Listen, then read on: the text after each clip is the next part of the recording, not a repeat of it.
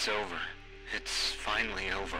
The fog of Draupnir, the ice of Vandalon, the meteors of Maya, the jungle of the creek I've been in the west for so long that I can hear the automaton chants in my sleep. It's finally over. Welcome back, Helldivers.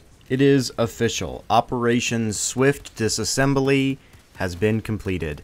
A successful mission in destroying automaton control across the galactic map. These evil, horrible, vile socialist machines have been eradicated. But I cannot help but fear that they will be back at some point. But do not fear, when they return, we will yet again disassemble them swiftly. That being said, before the operation was a success, we did hear about a battle plan from the automaton forces known as the Reclamation. So let's take a little look into what exactly that plan could have been had we failed. Let's begin. Around the recent liberation of the Malevelon Creek system, we began intercepting automaton communications that made mention of the reclamation. But with no explicit battle plans laid out in these transmissions, we were left to wonder what exactly the plan was. A reclamation, of course, is the process by which you reclaim or retake something that was once lost. Many Super Earth scholars theorized at the time that this plan was in relation to the planet Cyberstan. We know from early automaton communications that these murderous bots are the descendants of the Cyberstan collective that were defeated nearly a hundred years ago in a different galactic war. The planet Cyberstan was liberated, and all remaining cyborg socialists were put to work in the mines to continue production of harvesting the planet's natural resources. Now, we haven't heard much from Cyberstan since the last Galactic War, since the cyborgs have been contained, but obviously their ideologies have not.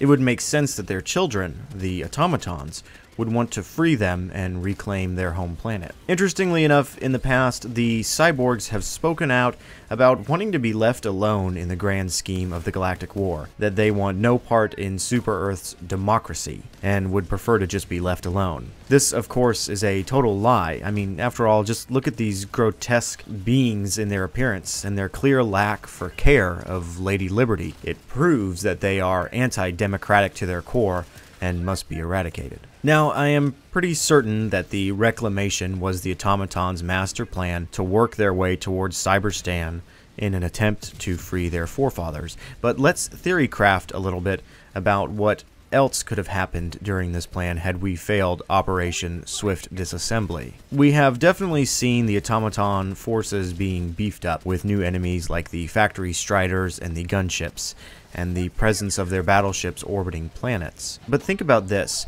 What would happen if the automatons had ushered in another one of our enemies to distract us during this mission? We have all seen the rumors and countless videos of strange happenings on automaton-controlled planets. The Illuminate are coming back.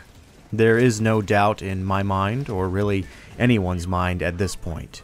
They are out there, and I do believe they are coming back. But the timing of their return might have just coincided perfectly with the automaton's plan for reclamation had we not stopped them.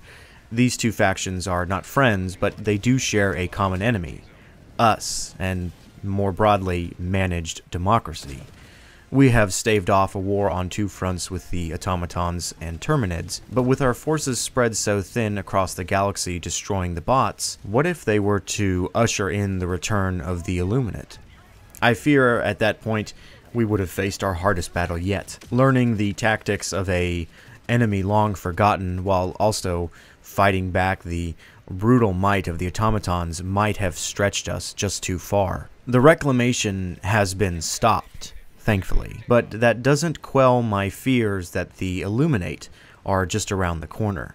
We have recently been told that SEAF artillery and military might has been placed in the different Severin sector systems to ensure that the automatons do not return, but I fear that while we are celebrating our victory over the socialist bots that we have finally defeated, that the Illuminate are just around the corner.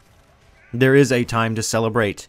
It is a great time to be joyful in the managed democracy system, but again, we must keep our eyes peeled out there because the Illuminate are out there. The automatons must also never be allowed to fully return.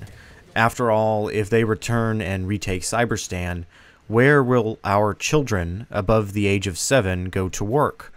So let's keep pushing back the bots wherever we find them for democracy, for freedom, and most importantly, for the children. I mean, they've got to work in the mines. What else are they going to do? That's literally their job. Thanks for watching the video.